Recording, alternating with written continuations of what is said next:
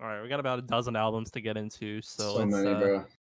kick right into it. Uh, Jake. Starting off this month's album recaps, we have Inertia, who have dropped their debut album, Second Shadow.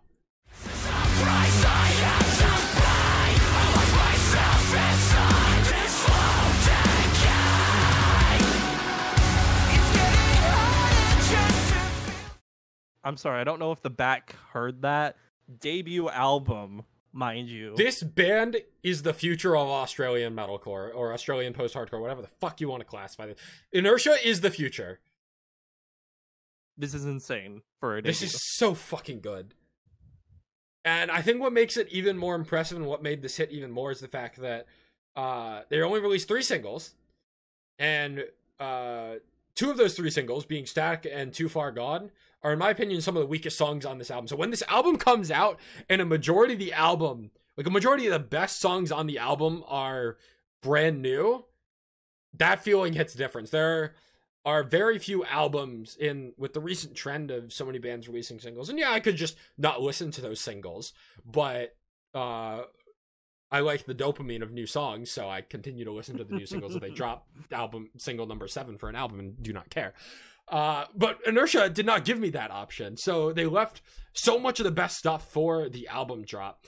Songs like Enrapture, songs like Dying to Let You Go, Second Shadow, The Seeds That You'll Never Sow absolutely phenomenal.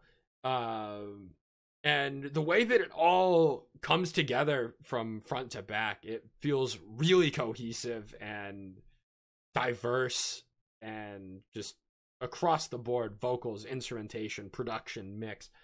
Everything is there. And it's a fucking debut album. It's unbelievably impressive. I think the world needs to know how much of a masterpiece Leviathan is. Yeah. Yeah. I was waiting to mention it, but Leviathan is the best song on this album, and it might not far. be close. Guys, Leviathan is my least favorite song on the album. No! What the fuck? It's the only one I didn't save. How? Criminal. I don't know, man. Now, granted, this album is so fucking good that I will need to go back to it over and over and over again. Yeah, At you which point like, it what, may grow on it me. You are hours going to like you are going to like Leviathan eventually. I feel like I'm I being can, I at cannot gunpoint. I cannot fathom Leviathan being your least favorite song on this album. I, that is I can I can accept it given the rest of the songs. I am just shocked that the Inertia Thornhill special didn't get you on first listen. I'm not a Thornhill fan. Let's be clear. I don't Oh, like that's- Thornhill. That's Uh, that makes sense. What? Don't you? Like, well, you let's say. Let me put it this way. He likes Thornhill more than the rest of us. As I far like as I know. some- I like some songs from the Dark Pool just because I've seen them. And live that a is times. more than we like Thornhill. All that to say, yeah, Le- Leviathan is, is fucking good. Like, it's such a it's such a good blend of um, uh, Inertia's primary vocals, um, with the uh, Thornhill, um, Jacob's vocals. Uh, it's just That's me. so clean. Uh, and that's just to highlight most of this album. Like for a debut single, um, we didn't even Album. talk about Memoria when that dropped. We we only talked about it in our award show. This like we're we're getting like true impressions on it as it as it's relevant. And looking at th- this track list, I'm looking at uh Leviathan, Dying to Let You Go, Static, Replicant, Second Shadow. Seeds way to That You skip Never over Enrapture. I sure did. wow. Uh and just all all these other songs are are just Yeah, like Enrapture. um I I skipped over Enrapture because I was getting to it, Jake. Ya bitch. Damn. Bitch. Get his ass. the Enrapture is probably yeah, I would say my top three on the album. Oh, that's don't know, the, Dying that's Let- not what I was expecting. Let's fucking go. Good job, Justin. Thank you. I thought you were about to say Enrapture is like your least favorite song on the album. No, my least favorite is still Dominion by far. Um, but Dying to Let You Go, I, I think kind of put me a little bit at ease to to Dominion a little bit. It kind of got me got me into the the grasp of the the song and the the structure there. They're heavier sound. Yeah. Um like songs like Seeds That You Never Sow and Rapture, I, I think are sold a better because of the first couple of songs on this album for me. Uh, well, we're kind of on the topic of dying to let you go. The fucking breakdown a minute and 30 seconds into this song is fucking disgusting. One of my favorite breakdowns I've heard all year.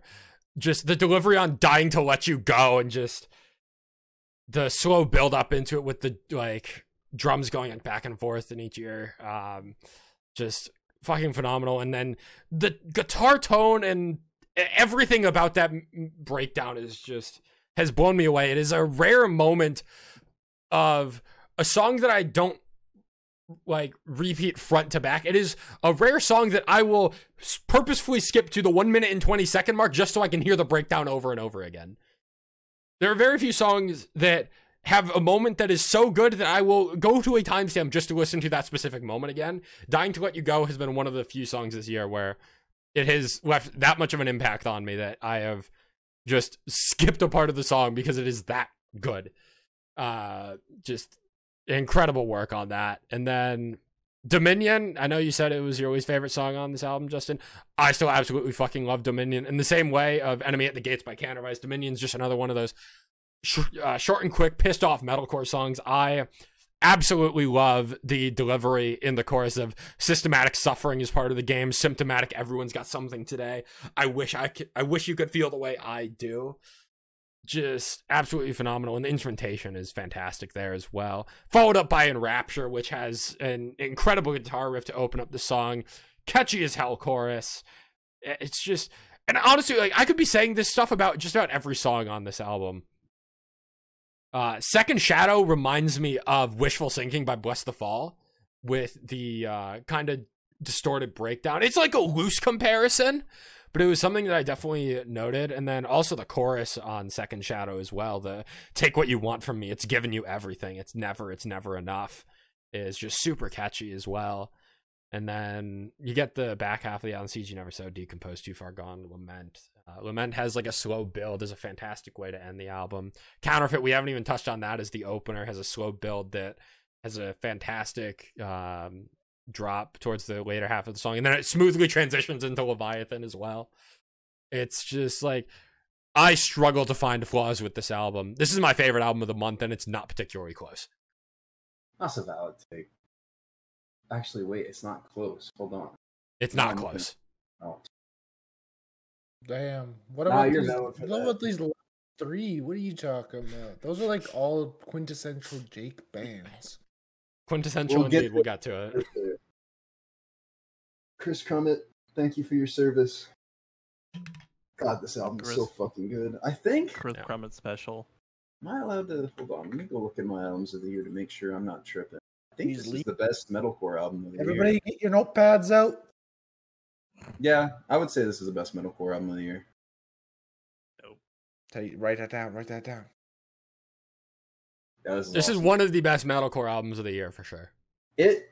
It's one for there only being like two or three songs that directly transition into one another. I was very surprised by how cohesive this album felt in spite of that. Like all the songs had a very similar idea to them, but they were executed just differently enough that I was engaged the whole time.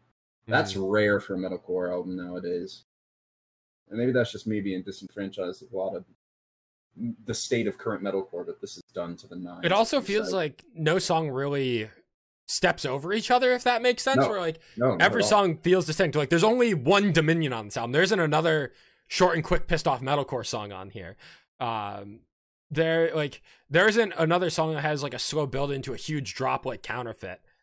And even like some of the more generic songs on here, like an Enrapture or a Second Shadow or Dying to Let You Go, they all have distinct moments that separate themselves and distinguish themselves from metalcore. Yeah, this is beautifully done. Shout out Inertia. Again, as mentioned before, debut album. If you're sleeping, hop on the Inertia train. Yeah, Inertia, like I, I will be astonished if Inertia are not like one of the next bands to blow up out of Australia.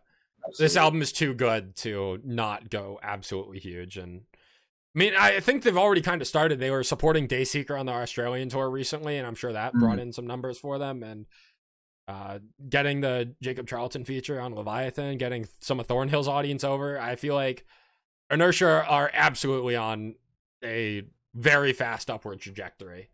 Absolutely, they have all of the kind of pop and R and B aspects to them, but they also have the technicalness of bands like Invent Animate or an Erra. Yeah, there's just way too much to love here for them not to blow up. I will be so shocked. Yeah, I'm really curious. Um, it's not a matter if it's just like when we're gonna start seeing them overseas. God, yeah, honestly, that's rather that's a later. yeah, that's a really good way to say it. Inertia, it's like it feels inevitable that they're the future. It's not. It's not when it's it's not if it's when. I need them to get a different label so I don't have to pay twenty dollars for vinyl shipping. Th- Um, unfortunately, I don't know if I'm gonna That's just the average life of a Canadian. All right, well, I'm not used to injustices. Okay, Justin Trudeau's not my guy. These are not things that I normally I, have to deal I, with. I have a solution. Uh, I he's have a much- proposal. He's much better than our current options. I have a proposal. I don't. Uh, next Hivemind meetup in Australia, so you can just buy it in person. facts. I'm gonna we pull up die. Jake, that Snakes sounds like a perfect idea. You Some should buy our tickets. I don't my have that kind of money. Sorry.